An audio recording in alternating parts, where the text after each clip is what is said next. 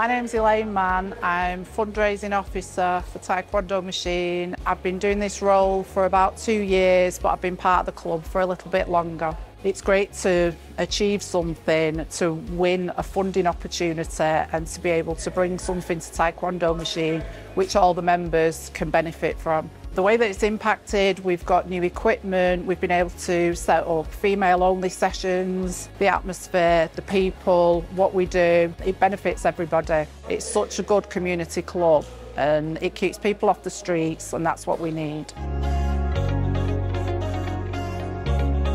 My name is Liam Gray. I'm the lead coach at Belle Vue Amateur Boxing Club here in central Gorton. I'm an ex-amateur boxer myself who decided, because there was lack of opportunity for young people around here, to start up my own amateur boxing club. The most enjoyable thing about what I do, without a doubt, is helping young people progress and develop and giving them something really constructive and worthwhile to do. I suppose what keeps me motivated and continuing doing what I do is coming back to the people that we help here. Also to help Gorton itself, which has in the past had a reputation. We produce some great boxers who make great progression and that really is my satisfaction in doing this. That's what keeps me going. My name's Steve Hempstock. I'm chair of City of Manchester Squash Club and I've been involved with the club for over 10 years. Since I've been chair of the Squash Club, we've managed to grow it from two teams in the Northwest Counties and one team in the Cheshire Ladies League. We now have six teams in the Northwest Counties, two teams in the Cheshire Ladies League and a racquetball team. We've grown from around 15 members to currently around about 80 to 85 members. What I really enjoy about this is giving my time to help people to get into squash and really enjoy the squash. We just help them to to grow and develop with the sessions that we run. I'm really proud of the achievements of everyone that's come through this squash club. That's what pleases me the most.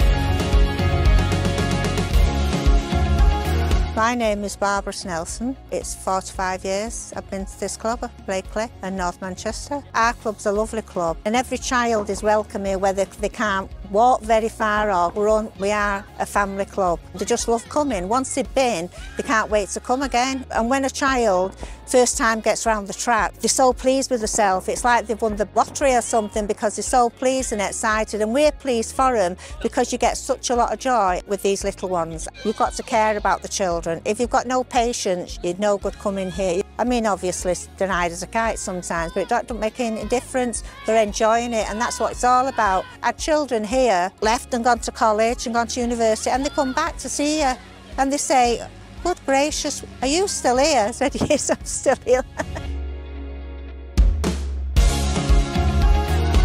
My name is Helen Hardy. I'm the founder of Manchester Laces, Manchester's first inclusive women's and non-binary football club. I think it's so important that we remember that sport is a vehicle for a community to come together, to meet new people from all different backgrounds and learn something new every day. In Manchester, we decided to launch a league called the AF League, the Alternative Football League. It's a seven-a-side league for beginner adult women and non-binary people. Most women didn't have access to football growing up, so there's a lot of adult women who are just joining football for the first time who maybe felt empowered by the incredible work of our Lionesses in the summer. I just feel so proud to be part of it. It genuinely wouldn't be here without the community that's created it and built it. Not just a football team, it's, it's a way of life.